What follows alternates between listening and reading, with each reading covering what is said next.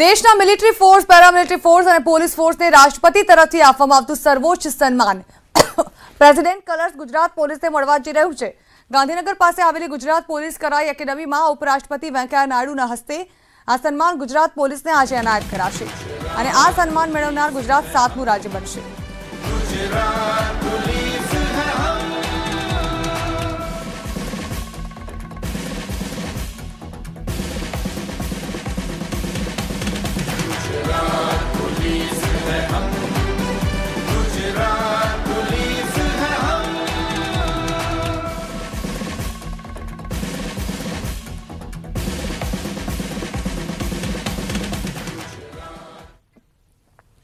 ગુજરાત પોલીસે યશગાથા ગાતું આ ગીત એટલા માટે તૈયાર કરાયું છે કેમ કે ગુજરાત પોલીસને મળવા જઈ રહ્યું છે સર્વોચ્ચ સન્માન. પ્રેસિડેન્ટ કલર્સ પ્રેસિડેન્ટ કલર્સ એ બાબતનું પ્રતીક છે કે જે તે પોલીસ ફોર્સ ગુણવત્તા, સેવા અને સુવિધા પૂરી પાડવામાં સૌથી આગળ છે. જે પોલીસ ફોર્સ પ્રેસિડેન્ટ કલર્સનું સન્માન મેળવે છે તે રાજ્યની પોલીસ માટે શ્રેષ્ઠ સન્માન ગણવામાં આવે છે.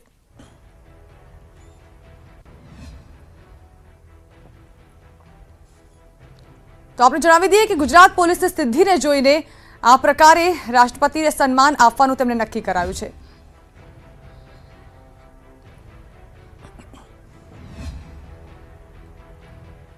તો આ અંગે વધુ માહિતી મેળવીએ senior associate editor Gita Mehta પાસેથી. ગીતા, કેવી તૈયારીઓ કરવામાં આવી છે અને લગભગ કેટલા સમયની અંદર હવે આ સન્માનની શરૂઆત થશે અને શું કાર્યક્રમ આયોજિત થયો છે ત્યાં?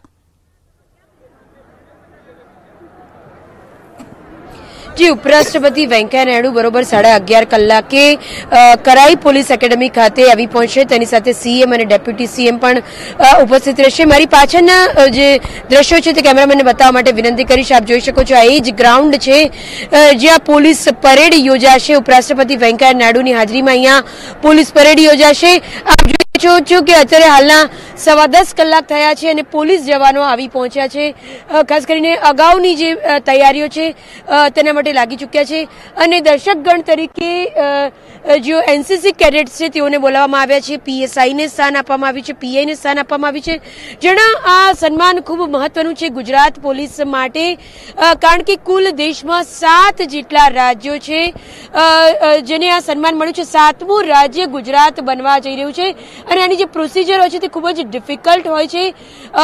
સીબીઆઈની વાત કરીએ, રોની વાત કરીએ, દરેક જે આ પોલીસ ફોર્સ છે, જેમાં પછી બીએસએફ કે પેરામિલિટરી ફોર્સનો પણ સમાવેશ થાય છે.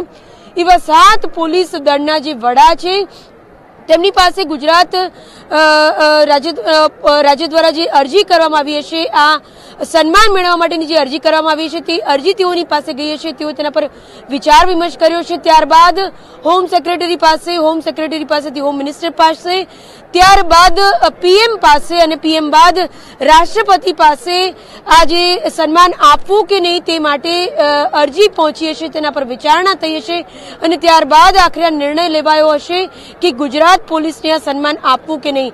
અગાઉ આ પહેલા દિલ્હી આસામ ઉત્તરપ્રદેશ જેવા જે રાજ્યો છે તેને આ સન્માન મળી ચૂક્યું છે.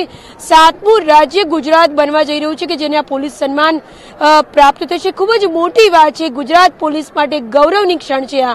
જી. બિલકુલ એ પણ જાણવા માંગીશું કે કઈ કઈ સિદ્ધિઓ ગુજરાતની હતી, ગીતા, કે જે સિદ્ધિઓ થકી આ આયામ સુધી પહોંચવામાં પોલીસને આ સફળતા મળી છે? આમાં કોઈ એક પેરામીટર કે ક્રાઇટેરિયા નથી હોતો. જેના ઘણા બધા ક્રાઇટેરિયાને પરિણામે એક લક્ષ્ય સુધી પહોંચાતું હોય છે. ગુજરાત પોલીસના સાહસની વાત કરીએ, અત્યાર સુધીનું પચીસ વર્ષનો તેઓને રેકોર્ડની વાત કરીએ, આ તમામને જોતા આ નિર્ણય લેવાયો હશે.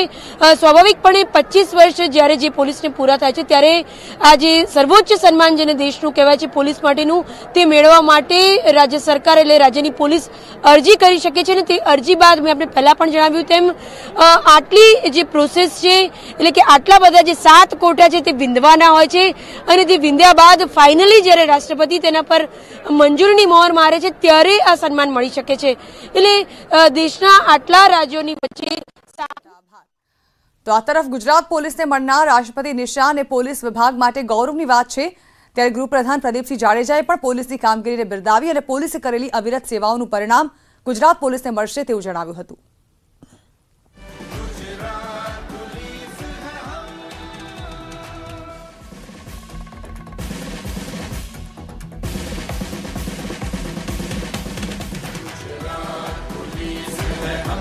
અત્યાર સુધીમાં આપણને રાષ્ટ્રપતિ નિશાન નહોતું કે ગુજરાતની પોલીસ ઇતિહાસમાં એક ઐતિહાસિક ઘટના છે.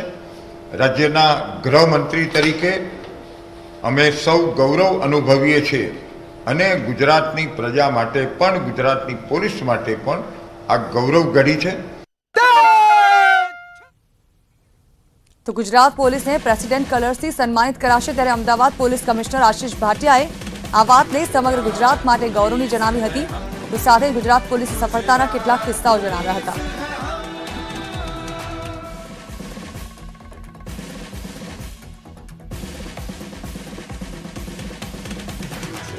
ખબર હશે, મહેસાણામાં તાઝિયા ગેંગ કાર્યરત હતી અને એ તાઝિયા ગેંગનું અમે પર્દાફાશ કરેલા અને એ મોટા મોટા એ લોકો ડેકોઇટીના કેસીસ આંગળીયા લૂંટો અને બાતમીદારના મર્ડર એ રીતના બનાવો બન્યા હતા અને પછી આ તાઝિયા ગેંગ જે છે એ પકડાઈ હતી અને એનું પર્દાફાશ થયું હતું. અમદાવાદમાં અને ગુજરાતમાં લતીફ ગેંગ, વહાબ ગેંગ જે છે એ કાર્યરત હતી અને એ માફિયા તરીકે લિકર ડોન અને એ રીતે એ લોકો કામ કરતા હતા. તો એમના પણ જે છે, નાઇન્ટીઝમાં પર્દાફાશ કરવામાં આવેલા અને તમામ આરોપીઓની ધરપકડ વગેરે થયેલી. જેનાથી હવે એ ટોટલી જે છે, એ નાબૂદ થઈ ગયું છે. આ ગેંગનું હવે નામું નિશાન અહીંયા નથી. અને માફિયા ફ્રી સ્ટેટ અત્યારે છે, એમ કહીએ તો કોઈ અતિશોક્તિ